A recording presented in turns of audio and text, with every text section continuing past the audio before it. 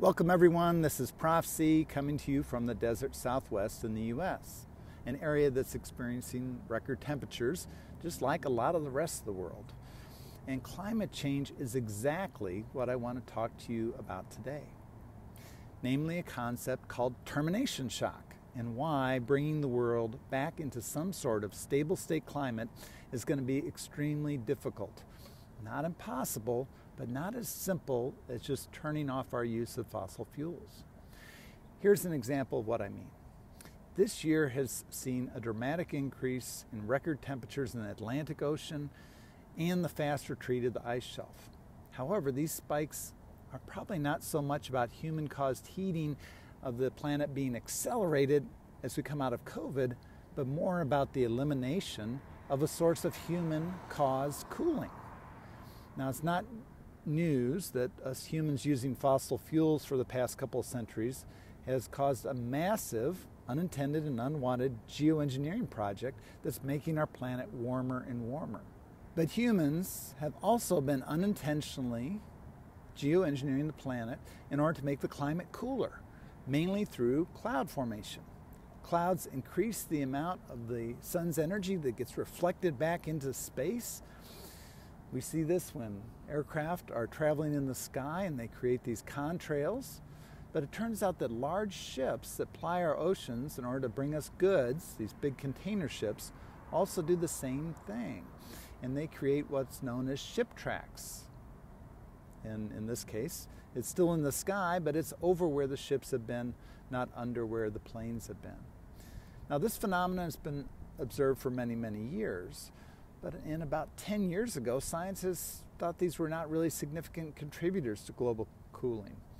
Uh, I'm going to link to a video from NASA from about 10 years ago. And in that video, they conclude the ship tracks themselves are too small to affect global temperatures, but they may help us understand how larger pollution sources might change clouds on a bigger scale. But another unintentional bit of human geoengineering is proving otherwise, that these do in fact have a big effect on our atmosphere. In 2020, a mandate for large ships to switch from high sulfur, very, very cheap and very, very dirty fuels, which they've been using for decades, to a low sulfur fuel kicked in in full force. Lower sulfur is better for the environment, better for the air, but it creates less clouds.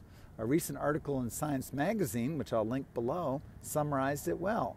Regulations imposed in 2020 by the United Nations International Maritime Organization have cut ship sulfur fuel pollution by more than 80% and improved air quality worldwide. The reduction has also lessened the effect of sulfur particles in seeding and brightening the distinctive low lying reflective clouds that follow in the wake of ships and help cool the planet. The 2020 IMO rule is a big natural experiment, said an atmospheric physicist at the Scripps Institute for Oceanography. He says, We're changing the clouds. Well, as a result of this unintended effort to increase air quality and reduce pollution going into the ocean, there are fewer clouds, and the oceans receive much more energy and get warmer much faster. This sudden stoppage of geoengineering that cools the planet is often called a termination shock, a sudden change that might even kill off all life on Earth or creates a runaway greenhouse effect. Uh, in the worst case, turning the Earth into a planet like Venus. Now, this summer's records have not wiped out all life on Earth. Obviously, I wouldn't be speaking here today if they had. But for the corals and vertebrates and many other species in the Gulf and Atlantic, this mini termination shock is the end of the line. Termination shock is also one of many good arguments against using global engineering to counter the planet's warming. Now, we have the technology to start geoengineering the world. We could, for example, pump chalk into the upper atmosphere. That seems to be one of the cheapest and most efficient means to do so. And I'll once again link to a TED talk that describes uh, how this could be done or the small amount that would be needed. But personally, I hope we never do this.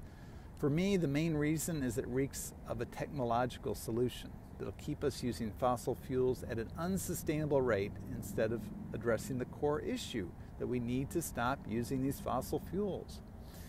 Now, I'm not a climate expert, so let me, uh, I'm going to put in the description here several resources that I've found useful. But before uh, you go on to that, I would just ask that you subscribe and like this video, and please leave your questions and comments below. I read and try to respond to every single comment, and I'm also going to be doing some AMAs soon based on the questions I've gotten for, from all of you. So thank you very much for watching, and I'll see you real soon.